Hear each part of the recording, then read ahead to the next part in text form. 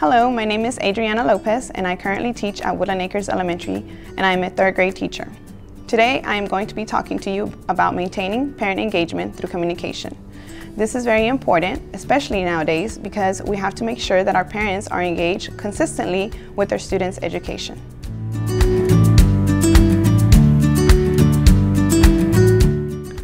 I have included this quote because I think it's very important. It reads, a little text can have a big impact. It can change a parent's engagement from reactive to proactive.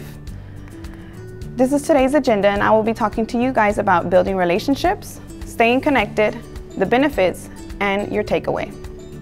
The first point that I want to talk to you about is about building relationships. As you see in the picture, I feel that building relationships is much like planting a seed.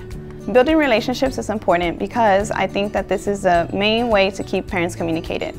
We need to make sure that in the beginning we dedicate time to reach out to our parents. Early communication with our parents will build trust and care between teacher and parents. And we have to make sure that we're not only sending those negative messages, but we're also spending time to send out positive messages, emails, or phone calls. I think that building these relationships is going to help us in the long run because when it's necessary to address a serious issue, parents are more receptive because you've already spent the time to build the relationship with them. The second point that I want to talk to you about is staying connected.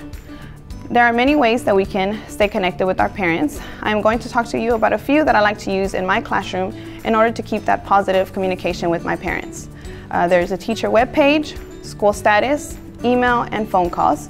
And of course, you have to make sure that you make yourself available to parents and share with them these different uh, means of communication that you have in order for them to all feel included. Staying connected. There are several ways that I like to stay connected with my parents. The first one is a teacher webpage.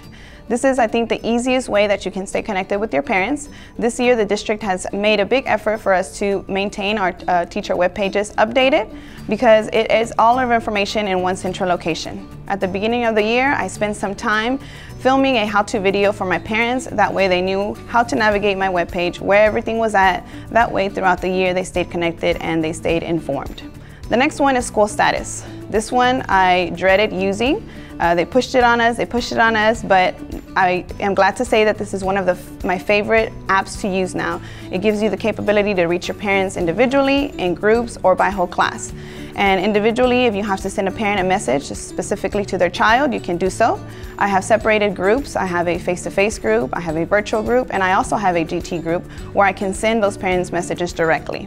Or I also have a whole class group. If I have flyers that I need to send out or that I know that may not make it home, this is the way that I communicate with my parents so that they stay informed and engaged at all times. This app also keeps a record of all your communication with your parents, including phone calls and text messages. The next one is very basic, is our email address. The parents have options to send me emails, files, pictures, anything that they need to send to me.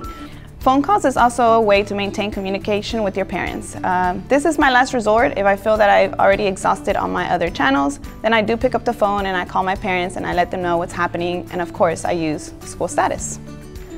Uh, teachers benefit from these relationships because they are able to um, get to know the students and their home environment and they can apply this in order to um, meet their needs better in the classroom. The students also benefit from these relationships because they have increased motivation for learning, they, their behavior improves, they have more regular attendance, and a more positive attitude towards homework and just school in general. The parents benefit by becoming more confident about the value of their school involvement. Parents develop a greater appreciation for the important role that they play in their children's education. So for your takeaway today, remember, keep your webpage updated. This is the easiest way to keep parents informed. Send out positive emails, messages, phone calls. They don't always have to be negative. And always get back to your parents as soon as possible. Do not wait, make them wait too long. Building healthy relationships with parents is important for everyone.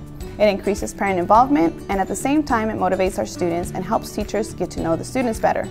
Although our classrooms may look different this year, we still have the same responsibility to effectively communicate with our parents and continue to keep them involved in their students' education.